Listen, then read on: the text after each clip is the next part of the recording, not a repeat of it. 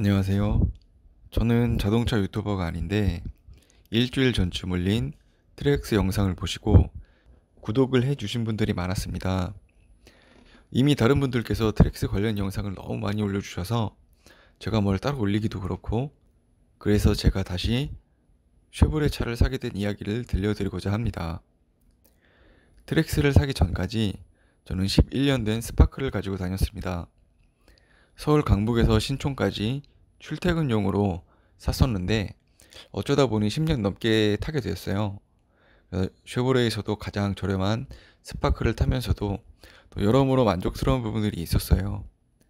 그래서 가장 만족스러운 부분들은 이제 자동차가 튼튼하다는 점 그런 부분이 있었고 10년 넘게 타면서 접촉 사고가 두 번 그리고 큰 사고를 한 번 겪었어요.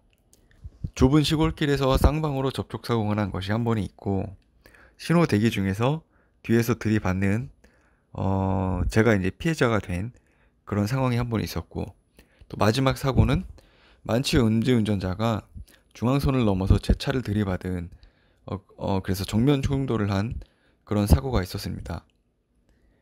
쉐보레 차를 타면서 가장 크게 느끼는 부분이 바로 튼튼하다는 점인데요. 경차를 타면서 뭐 얼마나 큰 장점을 느꼈겠습니까? 뭐 굼뜨고 답답하고 그런 건 있었지만 일단 편안했고 어 뭐 유집이나 그런 거는 뭐 다른 회사의 경찰들도 마찬가지니까 근데 튼튼하다는 거 하나만큼은 정말 자주 여러 번 느꼈습니다. 접촉 사고는 렉스턴과 포터랑 사고가 났었어요. 포터와의 접촉 사고 때는 스파크 범퍼는 멀쩡했고 포터 범퍼는 많이 부서졌었고 또 렉스턴이 받았을 때는 렉스턴하고 또 제 차인 스파크 둘 다 멀쩡했습니다. 자, 마지막 사고인 음주운전자 차량은 뉴카니발이었고 언덕에서 내려오면서 중앙선을 침범해서 제 스파크를 들이받았어요.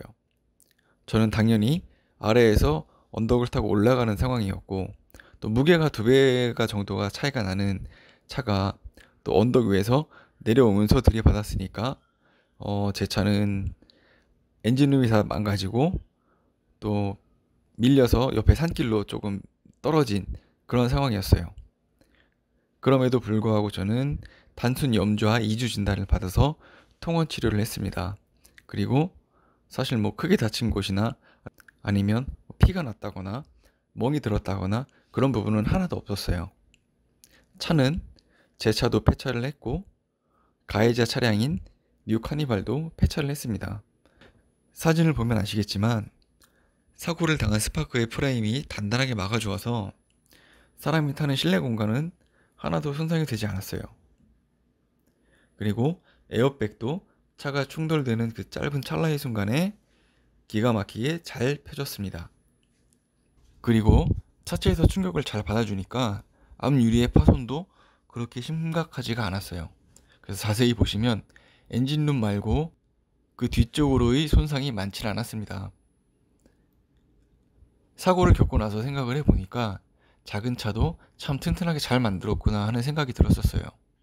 그렇게 사고를 겪고 보니까 다음 차도 자연스럽게 쉐보레 차량으로 눈길이 갔습니다.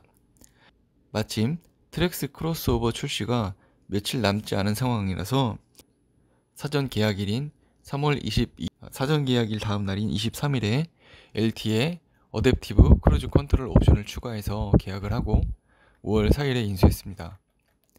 여러 자동차 전문 유튜버들이 극찬하는 부분이나 또는 우려하는 부분들 다 공감을 합니다. 그리고 지금까지 약 400km 정도를 운행을 했는데 다른 건 모르겠지만 엔진의 출력과 미션 그리고 차체의 안정감 등의 밸런스가 참 좋은 차라는 생각이 들었습니다. 1.2L 엔진이라고 하면 어떻게 보면은 작은 배기량의 차량인데도 제가 차를 잘 모름에도 불구하고 균형이 참 좋은 것 같아요. 그런 느낌을 되게 잘 받았고 추월을 할 때 잘 치고 나가주고 또 제동이 필요할 때 밀리는 느낌 없이 잘 잡아주고 또 고속 주행할 때의 안정감도 어, 괜찮다는 생각이 들어요. 제가 차에 대해서 잘 아는 것도 아니고 또 경차를 타다가 큰 차를 타게 되면 굳이 뭐 트랙스가 아니더라도 대부분 다 좋게 느껴지거든요. 다 좋게 느껴지기 때문에 뭐 제 생각이나 이런 게 뭐 객관적이라거나 뭐 이제 정확한 그런 표현은 아니라고 말씀을 드리고 싶어요.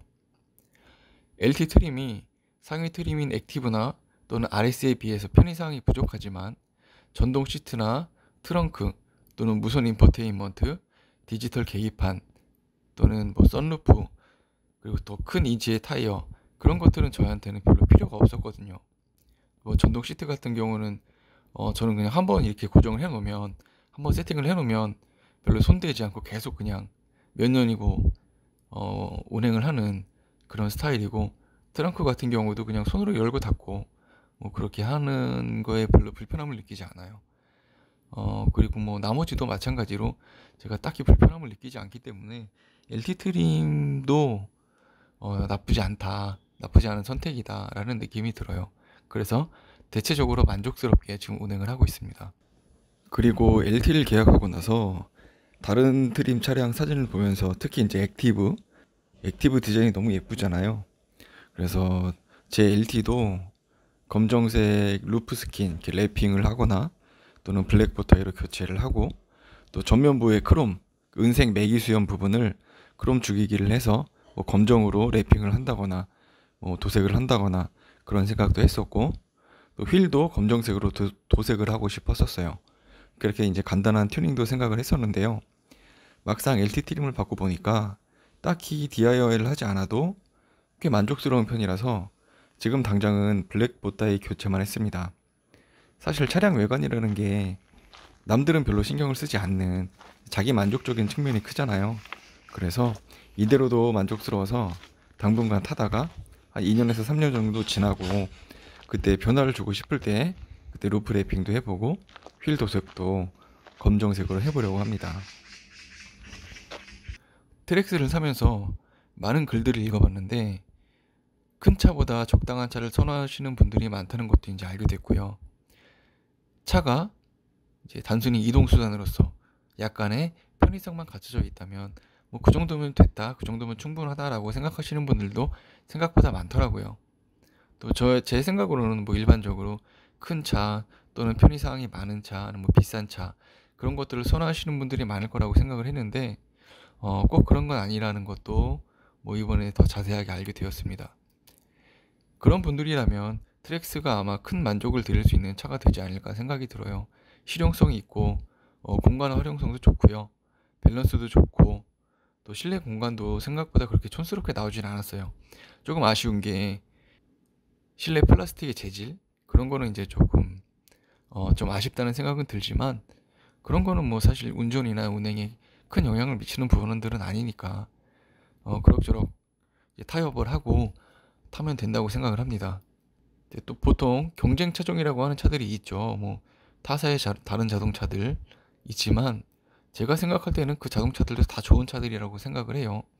그 중에서 자신한테 이제 맞는 차, 자기 성향에 맞는 차, 아니면 디자인이 조금 더 마음에 든다거나, 아니면은 뭐 편의사항에 어떤 부분이 더 마음에 든다거나, 뭐 그 정도 차이지 아마 대동소이하지 않을까 그런 생각이 듭니다. 그래서 활용도에 부합이 되는 차라면 그 어떤 자동차들도 다 좋은 차라고 생각을 합니다. 지금까지 제가 다시금 쉐보레 자동차를 사게 된 이유에 대해서 말씀을 드렸습니다.